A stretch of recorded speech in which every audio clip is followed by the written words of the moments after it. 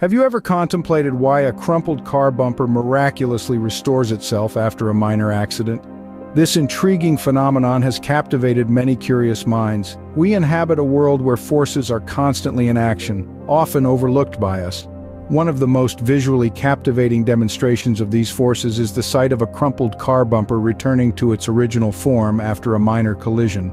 But how does this incredible transformation occur? What scientific principles are at play? Delving into the domain of physics opens up the concept of resilience. This inherent quality permits certain materials to revert to their initial state after enduring strain and then subsequently having that strain removed. This is precisely the scenario when a car bumper bounces back post a small accident. The resilience of the material is put to the test, and it is this resilience that facilitates the bumper to spring back into shape, often showing little to no visible damage. However, resilience is not the only force shaping our surroundings. Picture a baseball sailing high into the sky after being struck by a bat. This, too, is an intriguing demonstration of how forces and their impacts shape our world. The principle in action here is the law of conservation of momentum. The moment the bat contacts the baseball, a swift alteration in momentum occurs. This sudden change is the force propelling the ball into the air. The more forceful the bat strike, the greater the momentum alteration, resulting in a farther traveling ball. In a more comprehensive context, this principle isn't exclusive to sports like baseball, it's everywhere in our daily existence. The way our cars move, the functioning of our bodies, even the orbit of planets around the sun, all are governed by the laws of physics. One such law is the concept of force and impulse. Force is a push or pull, whereas impulse is the change in momentum. For instance, when you jump off a boat, the boat moves backward. This is the result of impulse. You exert a force on the boat, action, and the boat exerts an equal and opposite force on you, reaction, propelling you forward and the boat backward. This extraordinary interplay of forces and their impacts renders the world around us so vibrant and ever-evolving. It's the reason leaves rustle when the wind blows. Ocean waves crash against the shore, stars twinkle in the night sky. Indeed, every moment of our existence is marked by the potent and varied forces at play. These forces mold our world, guide our actions, and steer the trajectory of our lives. It's a complex and breathtaking dance of cause and effect, a symphony of motion and transformation ever present around us, if only we take a moment to observe. In this mesmerizing world of motion we inhabit, it's all about the intricate dance of force and impulse. Think of this. Force, described most simply, is either a push or a pull. It's an absolutely captivating principle, one that dictates the very operation of our universe. It infiltrates all aspects of our lives, from the most minute cellular interactions to the grand motions of the cosmos. Force is a perpetual agent of change, a catalyst that sets elements into motion or modifies their trajectory. It is omnipresent and continuously at work, molding and remolding the world we inhabit. Force is the unseen, silent might that lifts a bird into the sky, that manipulates the rhythmic dance of the ocean tides, that plummets an apple from its branch to the earth. It's the concealed power that keeps celestial bodies like planets and stars aglow. It's the key principle that governs how objects engage with each other, how they initiate movement, and how they resist it. Force is something so embedded in our everyday existence that we often overlook its profound and pervasive influence. Let's dive a little deeper into the intricacies of this phenomenon. Picture a feather floating gently down to the ground. This is the force of gravity at work, pulling the feather towards the center of the earth. Now think of a magnet attracting a paperclip. This is the force of magnetism pulling the paperclip towards the magnet. The force of friction slows down a ball rolling on a rough surface, demonstrating how force can also resist movement. Now envision a child on a playground swing, a quintessential representation of the concept of force. The child sits still on the swing, feet suspended above the ground. Until an external entity, a parent or a friend for instance, applies a force, the swing remains stationary. A subtle nudge, a push, and in an instant the child and swing are no longer static. The swing soars forward, setting the child in motion.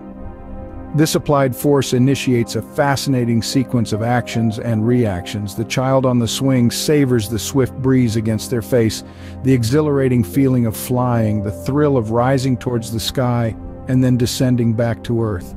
Back and forth the swing moves in a rhythmic pattern, physically embodying the forces implicated.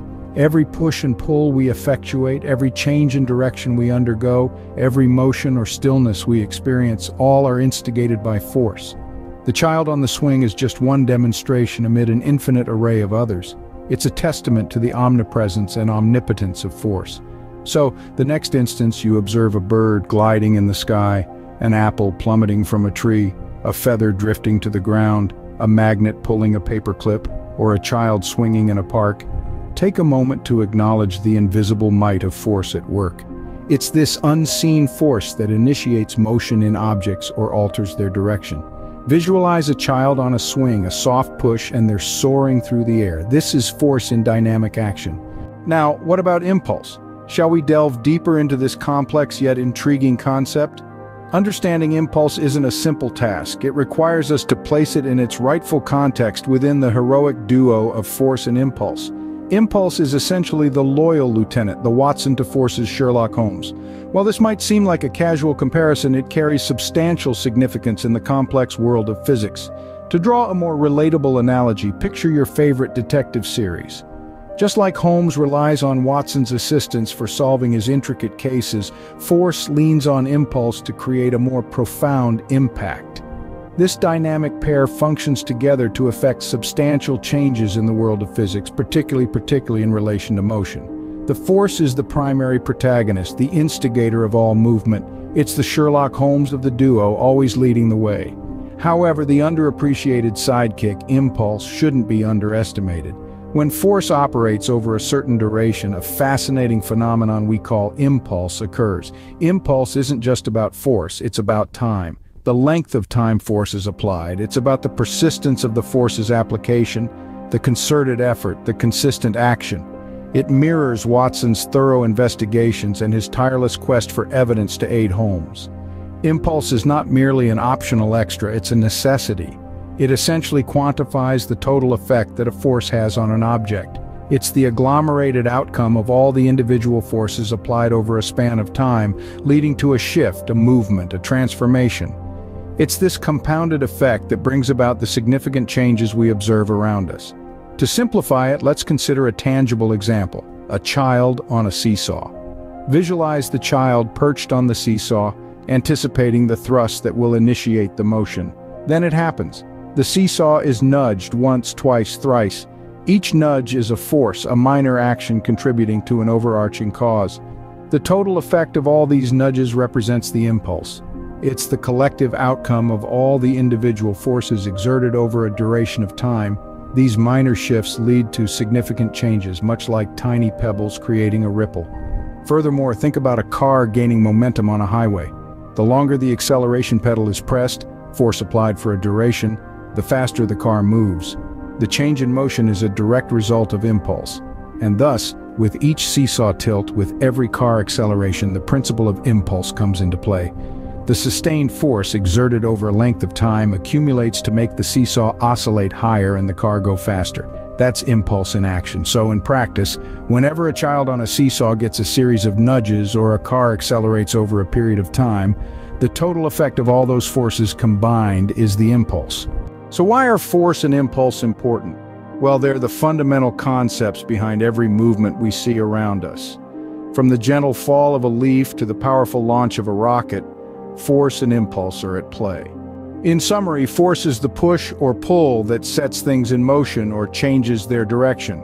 Impulse, on the other hand, is the total effect of a force acting over time.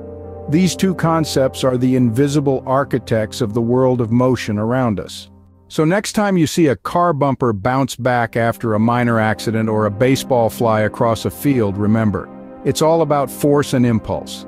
They're not just abstract concepts in a physics textbook, but the very principles that govern the movement of everything in our universe. From the most mundane everyday occurrences to the most complex scientific phenomena, force and impulse are always in action.